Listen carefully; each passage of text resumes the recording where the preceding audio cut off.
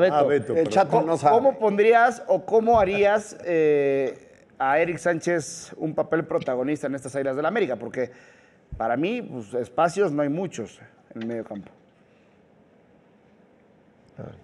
No, totalmente de acuerdo. Por eso te decía, no, sé cómo lo vaya a colocar Jardinero. O sea, que es un gran jugador, eh, el Chiquito Sánchez, por supuesto, pero tienes ahí a Fidalgo, tienes a Valdés, eh, bueno, Jonathan Dos Santos, que hizo un gran torneo el anterior, eh, y, y América jugaba regularmente cuatro, bueno, no sé, tres, tres, o sea, tenía tres gentes adelante, ¿no? Hoy habrá que ver cómo acomoda su parado Jardiné, que también él lo comentó, el técnico, ¿eh? que ya conocen muy bien al América cómo juega y que tendrá que hacer variantes y, y, formar diferente al equipo porque ya es muy predecible. Entonces, yo no lo sé, a mí, a mí el chiquito me gusta como segundo contención, esa es la realidad que tiene llegada de ahí atrás, porque aparte sabe pegarle de fuera del área, sabe filtrar un balón, a mí me gusta más como un segundo contención, pero pues, no sé, la verdad no sé dónde lo vaya a acomodar, pero a ver, lo importante de este jugador es que puede jugar en varias posiciones, que eso hoy día en el fútbol actual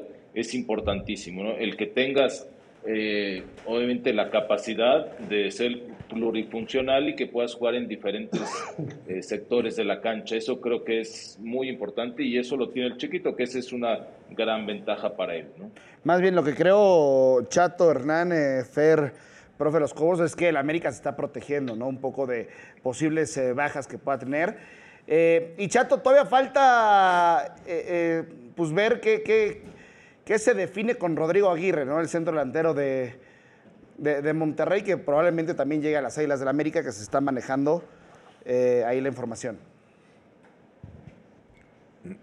Sí, eh, el tema de Rodrigo Aguirre llegará el día de hoy a la Ciudad de México para eh, los exámenes médicos, para todo esto, y ya después, eh, después de checarlo, hacer oficial eh, la llegada de Aguirre aquí a las Águilas eh, del América, mi querido Basu. Pues muchas gracias, Chato. Saludos hasta, hasta Juapa. Tápate bien porque el frío está intenso. Gracias, Chato. Gracias. Saludos, Chato. Un abrazo, Chato. Claro que sí. Le, les mando un fuerte abrazo a todos, en especial a Maggie, que hoy es su cumpleaños. Le mando un beso y un abrazo, Maggie, que es tu cumpleaños. Pásala increíble. Bendiciones. Y recuerda, amiguita, cuando el día llueve, espera porque saldrá el sol. Y hoy ya, salió ya, el sol corte, porque es tu corten al chato, Ah, por favor. Oye, Qué profundidad eh, de- qué profundidad Ah, de bueno, frase. Salió filósofo. Por Pero eso gracias. se enoja Beto, la verdad. Oye, qué razón. profundidad de frase, pero gracias por eh, Qué bueno. Ilustrarnos. Ilustrar. No, no, no, y también Con tu compartirnos. sabiduría. Maggie, muchas felicidades. Para quienes no conocen a Maggie, es eh, ya la felicito. una pieza medular en la programación y en la producción de Somos Caliente TV. Muchas felicidades, Maggie. Sin ti, seguramente este trabajo no saldría igual. Así que te deseamos el mejor de los éxitos, que tenga salud, amor y dinero también para disfrutarlo. A ver, va- vamos a hablar de, de, de la América. Para este torneo, Apertura 2024, hay, hay equipos como Cruz Azul que se ha reforzado bien, Pumas que inició con el pie derecho, Tigres y Monterrey sabemos que son equipos poderosos que siempre están en la órbita. Toluca. Toluca, que, que sin duda el torneo pasado también fue... No lo quiere nombrar, No, ¿no? un equipo importante. Pero a ver, con, con este plantel, con estas altas que ha tenido las Águilas del América, les pregunto uno por uno, Beto, profe, Hernán, Ferlara, ¿le, al- ¿le alcanza a Beto para el tricampeonato a las Águilas del América? No, bueno, no, sé. A ver, yo, yo te soy sincero, creo que mantiene una buena base el equipo de la América, eh, pero no solo es eso para poder tener un tricampeonato. A ver, si en torneos cortos no hay ni un solo equipo que lo haya conseguido. Veremos si América lo puede hacer en este torneo. Yo te soy sincero, lo veo complicado. Creo que va a haber equipos que, que le van a pelear y, y- y veo difícil que el América pueda conseguir el tricampeonato, aunque no es imposible, pero eh, a ver, vamos a ver quién toma la posición de Quiñones, que podría ser Brian Rodríguez si se queda el desequilibrante de esa banda, que cuando llegó Brian al América era titular antes de su lesión y que estaba por arriba de Quiñones. Entonces, plantel lo tiene, o sea, plantel yo creo que América y más si llega el, el jugador que, de Monterrey, que, que, también para tener más opciones y variantes, eh, entonces creo que, que sí tiene el plantel, pero, pero no va a ser nada fácil. Ya un tricampeonato es complicado conseguirlo eh, y no, no veo al América consiguiendo ese tricampeonato. Oye, Beto, antes de, de, que te tengas que ir, porque ya me, me, está diciendo producción que llegó la hora del golf y del tenis allá en, en Puebla. Eh, ¿Qué contratos, eh, digo, qué contrataciones harías tú para, para, para las Águilas del la América?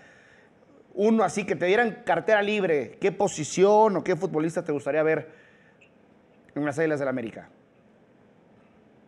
No, bueno, ahorita me la pones complicado, o sea, habría que hacer un análisis, a ver, pero de las posiciones que se le fueron, ¿no? Tienes jugadores muy importantes como Valdés eh, en estas posiciones, pero yo buscaría, obviamente tiene que llegar un centro delantero que, que le esté presionando a Henry, eso sí lo veo clarísimo, eh, y bueno, veremos si llega este muchacho, ¿no? Que del que se está hablando. Y, y por otro lado, a lo mejor en una posición atrás, por, eh, no atrás, perdón, en, en, como extremo, ¿no? Que juegue, que sea desequilibrante también para tener más, más opciones ahí. Pero yo veo un plantel muy completo el del América, ¿eh? Atrás, si se mantienen todos, no le veo ningún problema. Tiene jugadores muy interesantes, jugadores jóvenes que se están consolidando en la zona defensiva. Arquero tienes y de media cancha para adelante tienes una cantidad. A lo mejor un delantero y alguien que juegue por, por las bandas para tener el plantel mucho más completo y, y, y poder pelear nuevamente el título. Muchas gracias, Beto. Gracias. Nos, nos vemos mañana en eh, Tijuana para el partido de los Cholos eh, contra las Chivas Rayadas del Guadalajara. Gracias, Beto. Saludos, Beto. Un abrazo, Muchísimas gracias, Basurto. Beto. Un abrazo ahí, Hernán, a Carlos. Gracias, a Beto, igualmente. Estamos igualmente, viendo ahí Beto. el día de mañana. Gracias, abrazo. Gracias, gracias. A ver, Hernán, tú, tú, tú decías este, algo importante. Decías algo muy importante. Mira, primero antes Felicidades. de... Es la cumpleañera. Feliz cumpleaños, sí, Felicidades. sí. A la mañana. las mañanitas que cantaba el rey Basú a las maguitas bonitas. No, no, sí hay gente que trabaja de verdad. No, no, sí, Ahí sí, está, sí, sí. Ahí está. Sí, Ahí no está. como tú, ¿no? güey. A- Habemos algunos que se hacen guaje, ¿no? Pero. nah. ¿Y tú qué horas traes, güey? No, a ver, mencionabas, Hernán, un, un equipo que me parece eh, no siempre entra en la plática de candidatos y es un error. Toluca es de los equipos que ha hecho refuerzos más interesantes. ya después que funcionen o no, no lo sé. Eso es distinto. ¿No? eso Pero es distinto. interesantes y, y- y de calidad los tiene Toluca. En, en tres jugadores ya llevan 17, 18 millones de A euros. ver, lo de Gallardo es interesante. Sí, sí, claro, por supuesto. Lo- los, tres, los tres que llegan eh, son jugadores interesantes, con experiencia, no son jugadores nada más de...